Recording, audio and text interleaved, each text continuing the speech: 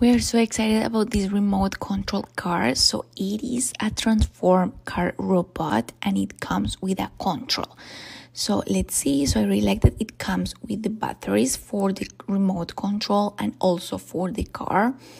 So I'm gonna show you here. Uh, it comes also, of course, with the manual, and these green batteries are rechargeable. So actually, I will show you how it works. But those will be inside the car and once you put the batteries you can close the lid and then you will be able to recharge the car. So that's awesome because you don't have to be like changing the batteries just using the same batteries and you can recharge the car with the cable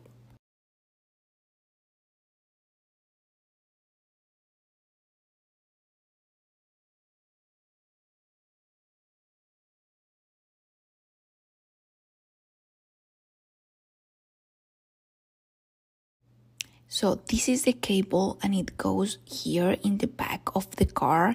And next to that it is the red button so you can turn on and off the car.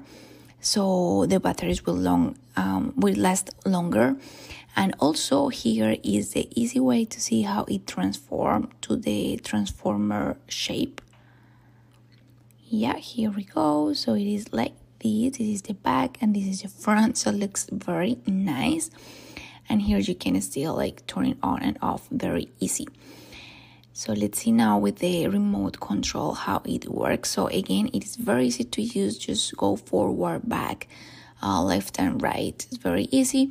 And it also comes on really fine buttons so i'm going to show you in a second. But yeah it has a very nice movement and it has a 360 degree rotation and now you can see here if I just click uh, one of the little buttons, the next one, the right one, it will go like along with all the transformation uh, stuff. So let's see here.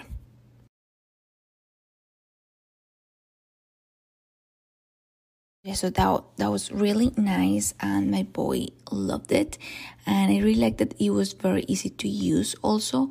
So he was like really doing well after a few minutes.